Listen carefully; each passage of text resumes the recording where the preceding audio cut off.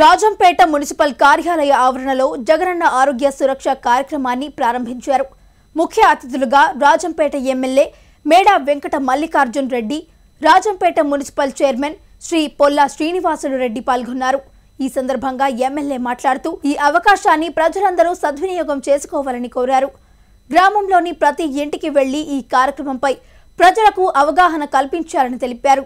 ఈ కార్యక్రమంలో రాజంపేట వార్డు కౌన్సిలర్లు వైఎస్ఆర్సీపీ ముఖ్య నాయకులు వైద్య సిబ్బంది వాలంటీర్లు ఆశా వర్కర్లు తదితరులు పాల్గొన్నారు. అధ్యక్షులుగా వహిస్తున్నటువంటి మున్సిపల్ మున్సిపల్ కమిషనర్ గారికి అలాగే ముఖ్య అతిథులు మన మున్సిపల్ చైర్పర్సన్ గారికి అలాగే స్పెషల్ ఆఫీసర్ గారికి కౌన్సిలర్ సభ్యులకు అలాగే ఇక్కడ వచ్చిన డాక్టర్స్కు ప్రముఖులకు ఇక్కడ వచ్చేసిన అధికారులకు వాలంటీర్ సభ్యులకు పాత్రికలకు అందరికీ కూడా పేరు పేరున ధన్యవాదాలు తెలియజేస్తూ ఈ యొక్క మంచి కార్యక్రమాన్ని ఈరోజు గత పదహైదు రోజుల నుంచి మన ప్రీతమ ముఖ్యమంత్రి గారు ప్రవేశపెట్టడం జరిగింది. ఈ జగనన్న ఆరోగ్య సురక్ష అంటే మనం ఒక్కసారి అందరం కూడా ఆలోచించాలి. ఎందుకంటే ఆనాడు దివంగత నేత రాజశేఖర గారు ఆ రోజు ఆరోగ్యశ్రీ పథకాన్ని ప్రవేశపెట్టి కొన్ని లక్షల మంది కోట్ల మందిని ఆ రోజు నుంచి కూడా ఈ రోజు వరకు కూడా కాపాడుతూ వస్తున్నదంటే ఈ ఆరోగ్యశ్రీ పథకం అని చెప్పి మీకు అందరికీ తెలుసు. ఆయన తనయుడు నాలుగు అడుగులు ముందుకేసి ప్రతి ఒక్కరిని మనం ఆరోగ్యంగా చూడాలి. ఈ రాష్ట్రాన్ని ఆరోగ్య ఆరోగ్య ఆంధ్రప్రదేశ్గా చేర్చి తీర్చిదిద్దాలని చెప్పి అహర్నిశలు కష్టపడుతూ మన ముఖ్యమంత్రి గారు ఈ యొక్క మంచి పథకాన్ని మనకు ప్రవేశపెట్టడం జరిగింది.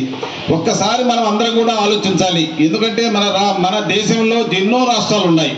ఎంతో మంది పెద్ద పెద్ద నాయకులని చెప్పుకోగలిగిన వాళ్ళు ఉన్నారు. కానీ ఎవరికి లేని ఆలోచనలు ఒక మంచి ఆలోచనలు పేదలను అన్ని విధాలా చూసే ఆలోచనలు ఎవరికి ఏ ముఖ్యమంత్రి కానీ ఏ నాయకుడు కానీ తట్టలేదు. అటువంటి సమయంలో మన ఒక చిన్న వయసులో పిన్న వయసులో ఒక మన ముఖ్యమంత్రి గారు ప్రతి ఒక్క విషయం పేదవారికి అన్ని విధాలా సగా సహాయపడే మన ప్రభుత్వం ఉండాలి అలాంటి పరిస్థితుల్లో మనం అందరినీ కూడా బాగుపరచవచ్చు. ఈ రాష్ట్రం బాగుండాలి ఈ రాష్ట్ర ప్రజలు బాగుండాలని చెప్పి కోరుకున్న వ్యక్తి ఎవరన్నా ఉండాలంటే దేశంలోనే కాదు ప్రపంచంలో కూడా ఇటువంటి ముఖ్యమంత్రి ఎక్కడా చూడలేదని చెప్పి నేను తెలియజేస్తున్నాను. ఎందుకంటే అంత చిన్న వయసులో అంత మంచి కార్యక్రమాలను రూపొందిస్తూ ప్రతి ఒక్కరిని పలకరించే విధంగా. ఎందుకంటే ఈ రోజు మనం చూస్తున్నాం ఇప్పుడే మన చైర్మన్ గారు చెప్పారు మన ఇంట్లో ఉన్న వాళ్ళు ఆ రూమ్లో ఉన్న వాళ్ళు ఈ రూమ్లో చూసే వాళ్ళకు చాలా కష్టంగా ఉంది. అటువంటి పరిస్థితుల్లో ఎక్కడో ఉండి ఆయన ప్రతి విషయాల్లో ఆయన పాదయాత్రలో వచ్చిన ప్రతి విషయాల్ని గమనించుకుంటూ ఈ రోజు మన రాష్ట్రాన్ని ఆర్థికంగాను